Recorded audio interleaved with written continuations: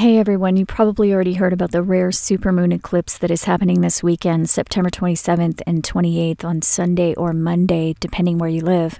According to NASA, this is a rare event because it's a combination of a supermoon and an eclipse that is occurring for the first time in 30 years. The last time it occurred was in 1982, and it won't occur again until 2033. Space.com explains that a supermoon occurs when the moon reaches its closest point to the Earth. When this happens, the moon appears from our perspective on Earth to be 14% larger than normal. This does not occur every cycle, but approximately every 14 full moons. But this weekend, the supermoon will occur at the same time the moon is moving into the Earth's shadow for a lunar eclipse. This is called a supermoon lunar eclipse and is far more rare. In the past 100 years, it has only occurred five previous times in 1910, 1928, 1946, 1964, and 1982.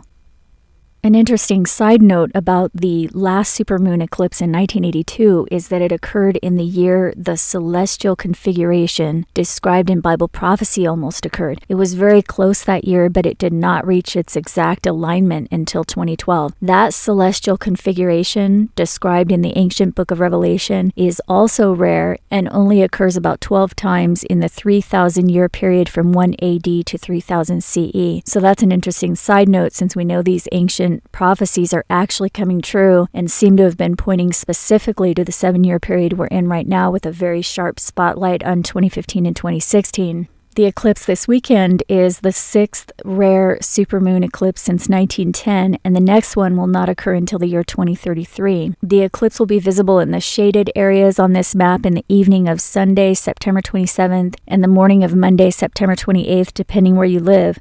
You can see on this map the entire eclipse will be visible from the eastern United States, all of South America, Western Africa, and Western Europe. In the western United States, the moon will be rising while it's entering the umbra of the eclipse, which you can see here is when the moon will be turning red. In most of Mexico and the midwestern US, the moon will be rising while entering the penumbra of the eclipse, which is just before the eclipse occurs. And in eastern Africa and Europe, the last part of the eclipse will be visible at sunset. The eclipse will occur between 9:07 p.m. Sunday night and 12:27 a.m. Monday morning UTC UTC time. You can find the eclipse time by either looking at this time zone map and adding or subtracting from UTC time, which is in the middle of the map here, or you can go to timeanddate.com and enter your location to find the exact time the eclipse is occurring in your area. I'll leave links to the articles and websites below this video, and for more information on the ancient biblical prophecies that have been coming true in recent years, you can also check out this playlist here. It's also linked below. I hope you have a good weekend, and I'll talk to you next week.